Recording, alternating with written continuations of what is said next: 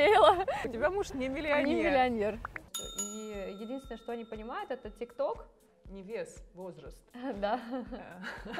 Я не могу сказать, что это рост сейчас. Я вот не могу сказать. Устойчивая, такая боец, э, красивая, там волосы поправляет, улыбается, со всеми общается. И так далее, они не идут никуда. Вот почему-то у них не получается в моделинге, которая реально должна работать, но она не работает. Идеально по всем параметрам. Идеально по, но... по всему просто. Расскажи мне, пожалуйста, самый первый показ или первая работа, от которой ты действительно кайфанула и поняла, что вот она, жизнь модельная началась? На самом деле я от каждой работы кайфую, в принципе, потому что Но я самое, бы этим не занималась. Яркое. Самое яркое, это, наверное, была, в принципе, с Гуччи, потому что мы снимали животных, и я помню, когда они мне вот просто кидали вот этих змей, я не хотела сниматься со змеями, они мне просто кидали и говорили, нет, давай, давай. И э, в итоге потом они мне привили как-то эту любовь к ним, что я даже не боялась, и вот мы дальше снимали, я потом даже играла с этими со змеями. И мне кажется, вот это вот больше всего запомнилось. По оплате это была какая работа? Это самая... была хорошая работа. Или не самая высокооплачиваемая? Я скажу так, это хорошая работа, но в Китае можно заработать больше задач. То есть все-таки это не миф, что топ-модели зарабатывают в Китае? А, не миф, нет. На самом деле в Китае все деньги, об этом все прекрасно знают. Я даже своих девочек всегда говорю, что нужно ехать в Китай, зарабатывать там деньги, ехать в Европу, потому что Европа это больше имидж.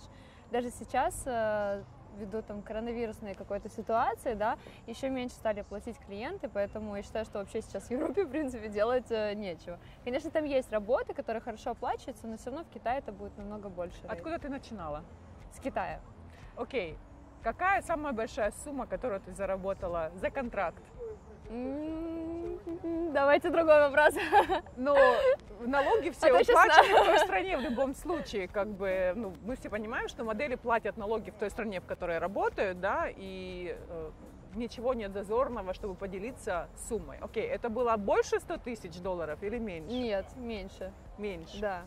А, а вообще за всю а, свою Просто карьеру? здесь вопрос в том, что а, сумма может быть больше, но сколько нетом ты получаешь, это намного меньше. Сколько, Если ты сколько работу... было в руках?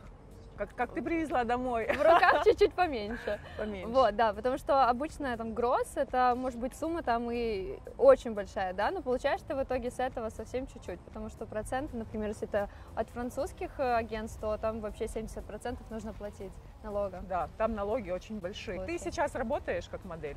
Продолжаешь ли работать? Или ты сказала, все, я беру паузу, у меня семья, у меня муж, у меня ребенок, я хочу отдыхать сейчас и кайфовать, и наслаждаться жизнью? Я пока не понимаю, потому что вот это все случилось э, в пандемию, да, когда я сказала агентству, что я все, я приостанавливаю работу, я хочу детей, я хочу семью, я хочу развивать свой бизнес в Украине.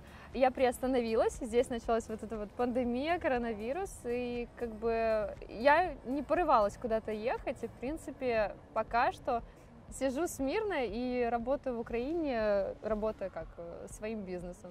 А насчет мужа? Вот э, есть такой миф, что все топ-модели выходят замуж за миллионеров. Ну вот, миф, миф рассеяла. У тебя муж не миллионер. Не миллионер но он среднего класса, среднего достатка. И думаю, что успешная женщина выберет себе неуспешного мужчину. Это конфликт сразу же в семье. Он успешен? Да, да, да. У него есть бизнес? У него, да, он бизнесмен. И также мы развиваем вместе продакшн свой. То есть вы объединились, кооперировали да, да. свои силы и сейчас развиваете совместный бизнес. Ну, Школу, продакшн, да. То есть вы растете вместе. Да. Ну, у него свой бизнес, и он мне помогает вот э, то, что, ну, как бы с ребенком еще там руководить школой, продакшеном, это очень сложно, поэтому мы объединились, и э, это получается, это круто, когда муж поддерживает твои начинания. Здорово.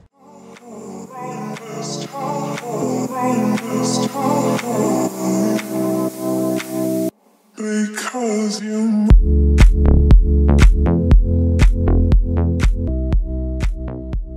Мариночка, расскажи о своей э, школе э, для моделей. Для каких моделей? И для модели ли вообще эта школа? Или можно просто прийти любому человеку, или, не знаю, 15 лет, или 8 лет, или мне 25, например, мне далеко не 25, но если я, например, хочу попробовать.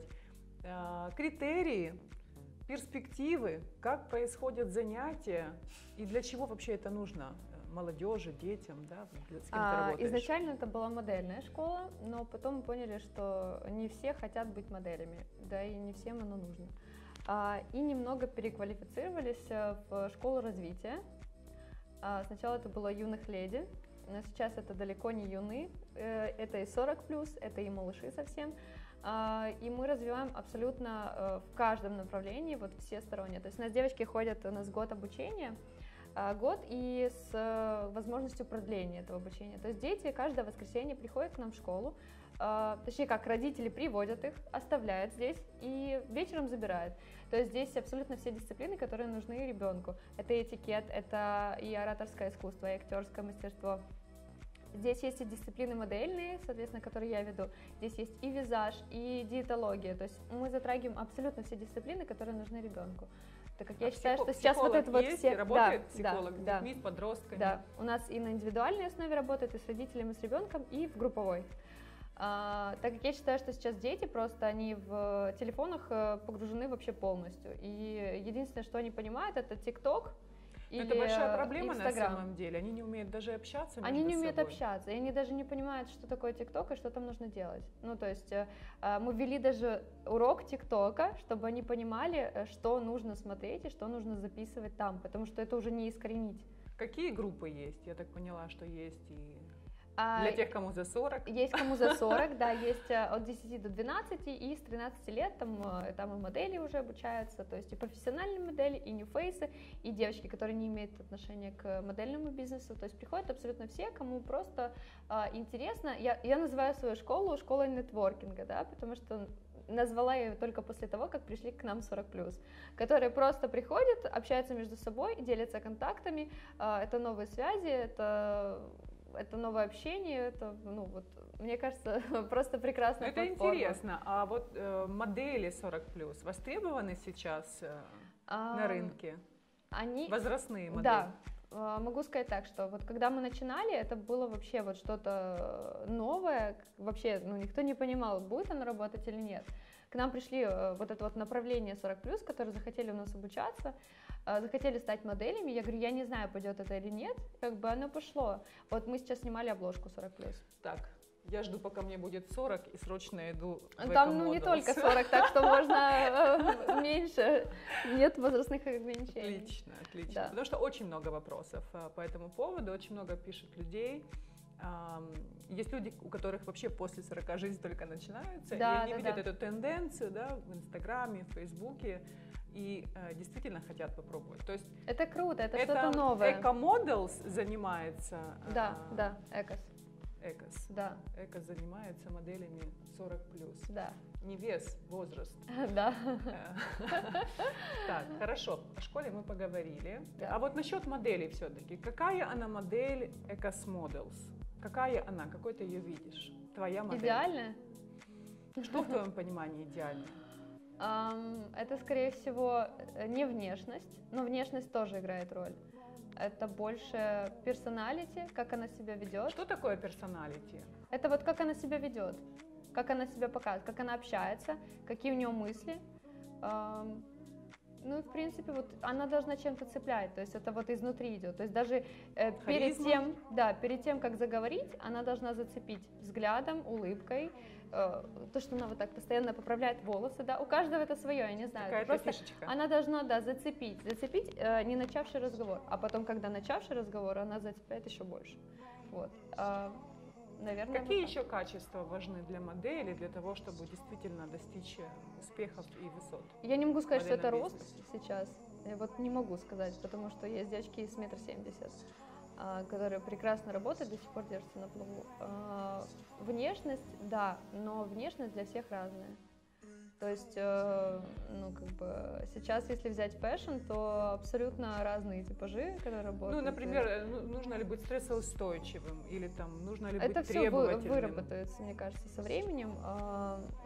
И это должна материнка учить уже девочку. То есть, понятное дело, что девочка не придет стрессоустойчивая, такая боец, э, красивая, там волосы поправляет, улыбается, со всеми общается. Есть такие девочки. Ну, зачастую, вот, э, кстати, вот такие вот девочки, которые приходят в агентство, которые уверены в себе, которые там, а, в принципе, чем-то цепляют, да, красивые, классные и так далее, они не идут никуда. Вот почему-то у них не получается в модерном очень много вот э, случаев, когда реально классная девочка, которая реально должна работать, но она не работает. Идеальная по всем параметрам. Идеально по, но... по всему просто. Ну вот она и цепляет, она и улыбается, она умеет общаться, умеет одеваться, но она не работает. Зачастую работают девочки, которые не умеют одеваться, которые одеваются как бомжики, грубо говоря, да, ну это мой любимый стиль, в принципе, я сама одеваюсь так, я часто муж ругает, что я могу выйти там в шлепках, и ну, как мне все равно, мне главное, чтобы комфортно было. А, вот, и зачастую работают именно такие девочки. Отлично. И э, скажи что-нибудь моделям, да, пожелай что-то моделям, девочкам, которые нас смотрят, может быть, тем девочкам, которые хотят стать моделями. Что им нужно делать? Расскажи, Хотеть. дай маленькую инструкцию, как, как вот сделать этот шаг просто от желаемого к действительному. Ну, если хочешь, нужно идти к своей цели всегда, как бы, да, Тут, ну, если тебе говорят нет, а ты этого все равно хочешь, то нужно пытаться, пытаться, пытаться, потому что ты этого хочешь, иначе смысл вообще жить, если ты чего-то хочешь, но ты не можешь это получить. То есть нужно делать то, что хочешь. Конечно, ну, а зачем вообще тогда существовать? Ну, это твой девиз по э, жизни? Э, да, да, да. То ну а почему нет? А почему нет? А почему я должна что-то хотеть и не иметь этого? Ну, то есть э, должно быть желание, должна быть э, цель и должен быть путь к этому цели. Хорошо. И последний вопрос. Твоя цель, да? Вот какая у тебя есть большая цель или, возможно, какая миссия у тебя есть? Что бы ты хотела сделать такого глобального и большого для себя. Поменять мир, ну помочь, да, вот изначально это помочь, а уже когда ты помогаешь, я считаю, делаешь это с душой, агентство будет развиваться, будут развиваться школы, деньги не главное, но они с этого пойдут в любом случае, если тебе это нравится, если это хорошо идет, если ты э, помогаешь, если ты всем сердцем с этим, э, и тогда будет все. Отлично.